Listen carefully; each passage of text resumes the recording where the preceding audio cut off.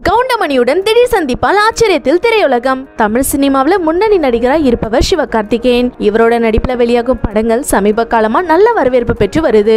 அதனால தற்பொழுது தவிர்க்க முடியாத நடிகராக உருவாகி இருக்காரு கலக்கப்போவது யாரு நிகழ்ச்சியில காமெடியனா கலந்து கொண்ட சிவகார்த்திகேயன் விஜய் டிவியின் செல்ல பிள்ளையாக ஏகப்பட்ட ஷோக்களை தொகுத்து வழங்கி வந்தாரு. தனுஷின் த்ரீ பாண்டியராஜின் மெரினா படங்கள்ல நடிக்க வாய்ப்பு கிடைக்க அப்படியே படிப்படியா ஹீரோவான அவர் இன்று அதிகபட்ச சம்பளம் வாங்கும் டாப் கோலிவுட் நடிகர்களை ஒருவராக கலக்கி வராரு.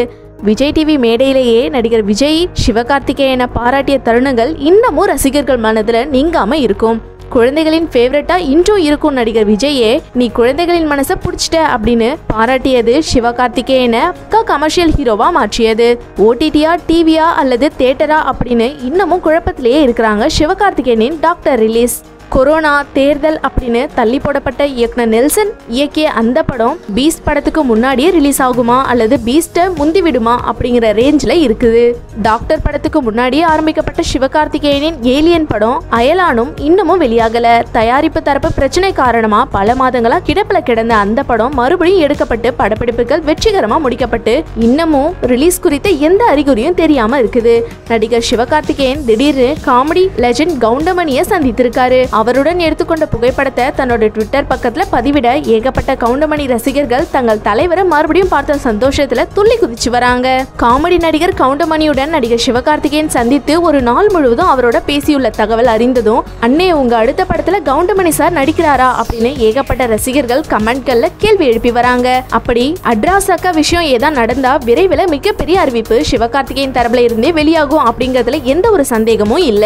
இயக்குனர் சிபி சக்கரவர்த்தி இயக்கத்துல அடுத்ததான் நடிகர் சிவகார்த்திகேயன் டான் படத்துல நடிச்சிட்டு வராரு. இந்த புகைப்படத்தை பார்த்த ரசிகர்கள் டானுக்கே டான் இவர்தான் அப்படின்னு கமெண்ட் செய்து வராங்க. டான் படத்துல ஒரு சிறப்பு தோற்றத்துல ஒரே ஒரு சீன்ல கவுண்டமணி வந்து சென்றாலும் அது அந்த படத்துக்கு மிகப்பெரிய பலமா இருக்கும் அப்படின்னு ரசிகர்களின் கோரிக்கை. பீஸ் படத்தில் விஜயுடன் இணைந்து நடிக்க செல்வராகவனுக்கு இத்தனை கோடி சம்பளமா? தளபதி விஜயின் மாஸ்டர் பட வெற்றியை தொடர்ந்து அடுத்ததா அனைவரும் எதிர்பார்த்து கொண்டிருக்கும் திரைப்படம் தான் பீஸ். சன் பிக்சர்ஸ் நிறுவனம் தயாரிக்கும் இந்த படத்தை இளம் இயக்குனரான நெல்சன் இயக்கி வராரு. மேலும் கத்தி மற்றும் மாஸ்டர் திரைப்படங்களுக்கு அப்புறம் மூன்றாவது முறையா விஜயின் படத்துக்கு இசையமைக்கிறாரு அனிருத்.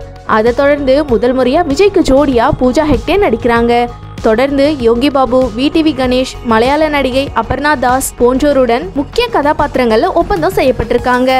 அவங்கள விட அதிக எதிர்பார்ப்பை ஏற்படுத்தி இருக்கும் நடிகர் அப்படின்னு சொன்னா அது இயக்குனர் செல்வராகவன் தான் ஜீனியஸ் இயக்குனர் அப்படின்னு பெயர் வாங்கிய செல்வராகவன் கொஞ்ச நாளாவே இயக்கத்திற்கு லீவு கொடுத்துட்டு நடிப்புல களமிறங்கிட்டாரு.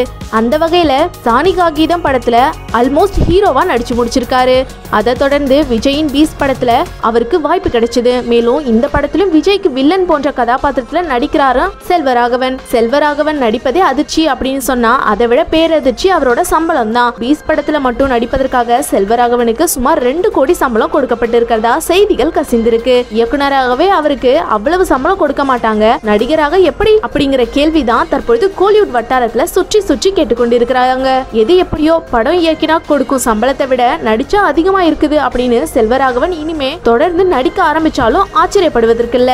தளபதி விஜயின் பீஸ் படத்துல மூன்று வில்லன்கள் நடிக்க இருப்பதாகவும் இதுல ஒருவர் பிரபல மலையாள நடிகர் சாக்கோ அப்படின்னும் சொல்லப்பட்ட நிலையில தற்பொழுது செல்வராகவன் அறிவிக்கப்பட்டதுனால அவரும் வில்லனா நடிப்பார் அப்படின்னு எதிர்பார்க்கப்படுது. மேலும் ஒரு வில்லன் யார் அப்படிங்கறத பொறுத்திருந்து பார்ப்போம்.